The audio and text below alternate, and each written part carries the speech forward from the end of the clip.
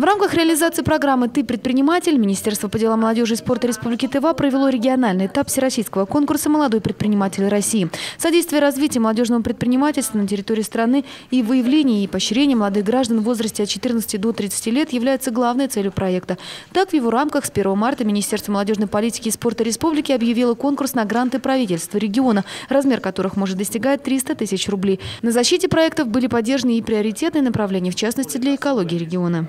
Целом отрасль туризма на следующий год она будет развиваться очень сильно, и ваш проект очень важен.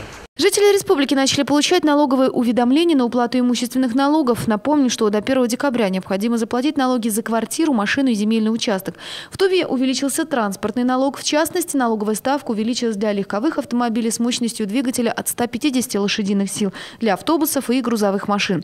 Также уведомления с увеличенной суммой налога начали получать владельцы квартир домов в Кызыле. Пенсионеры тоже платят налоги. Отметим, что до 2015 года они освобождались от уплаты, а с 2015 года льгота по налогу предоставляется для пенсионеров в отношении одного объекта. Например, только по одной из двух квартир. Для получения льготы нужно обратиться в налоговую с заявлением.